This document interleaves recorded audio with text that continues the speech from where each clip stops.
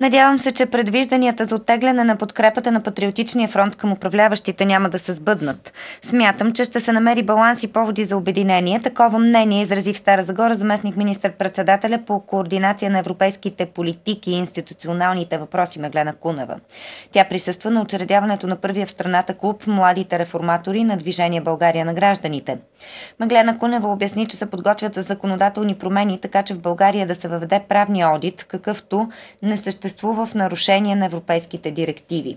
Реформаторите имат предвид и конкретен човек, който да се заеме с тази дейност. Според вице-премьера трябва бързо да бъдат избрани председател на ВКС и главен съдебен инспектор. Освен Меглена Кунева, на учредяването на клуба на младите реформатори в Стара Загора присъства и депутата Димитър Танев, който изрази надежда, че новата формация ще стане платформа за идеи и промяна. 28 са учредителите на клуба на възраст от 18 до 30 години. За председател е избран 23 годишния Калуян Петров.